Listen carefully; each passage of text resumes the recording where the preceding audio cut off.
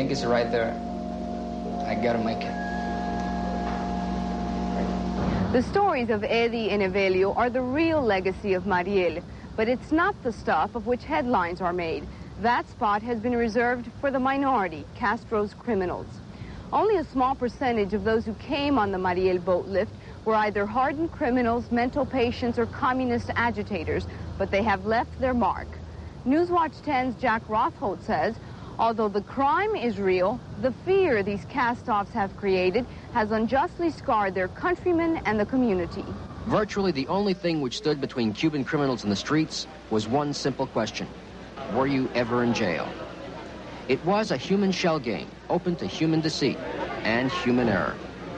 In the words of one South Floridian who was there, the screening process was a farce. It was a farce if you see how the people that were in the camp were processed after.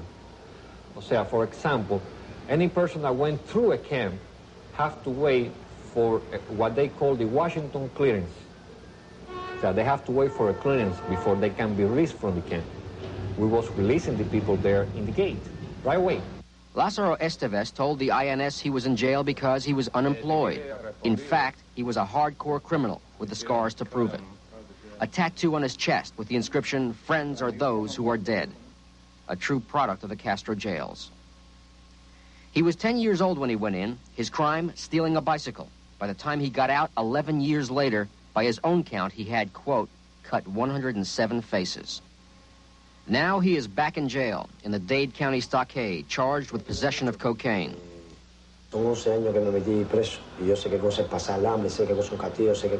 He says, the 11 years I was in jail had a lot to do with it.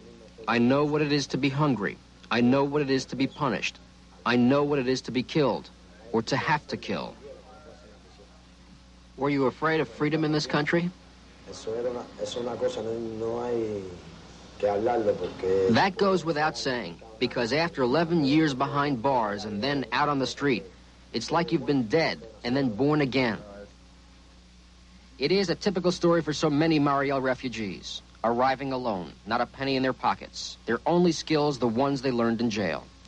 Some of them took to their old ways, creating a fear in South Florida that grew out of violence.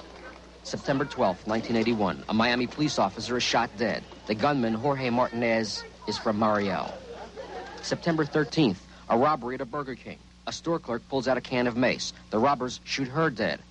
The gunmen are from Mariel.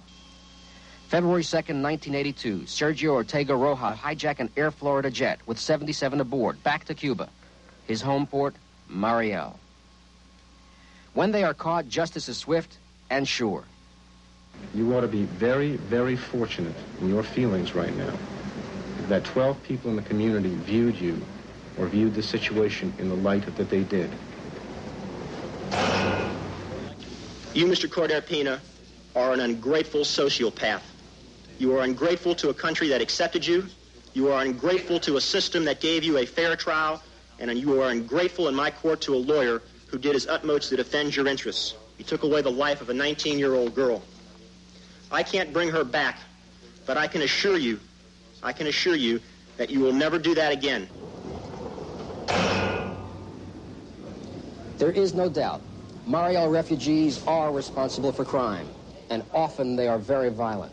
But in the words of Judge Seymour Gelber, a little perspective is needed. The branded image of Marielito Gelber says is grossly exaggerated, magnified by a community looking for a scapegoat.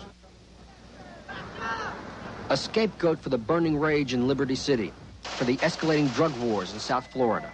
Any emigration to a country uh, causes some sort of chaos. Uh, Mariel's constituted 6% of the total population. And an estimate I made based on the people who were in jail and awaiting bond hearings showed that about, they committed about 12 to 15% of the total crime, which means double the normal population. But uh, twice as much population is not unusual. There were some uh, ethnic racial groups in uh, Dade County that commit as much as three or four times their population. Even as is, it's not as, quite as bad as, as it has been portrayed or has been perceived. For every story like Lazaro's, there are dozens of others like Luciano Ramirez. Ramirez was jailed in Cuba too. Now he is a steward at Sheraton's Key Biscayne Hotel, trying to save up enough money to buy his own metal welding business. Well, what I want to do is uh, work in this country and uh, put my own business and work for myself, be free. There are many others who share in Luciano's quest for freedom, but for them it is still an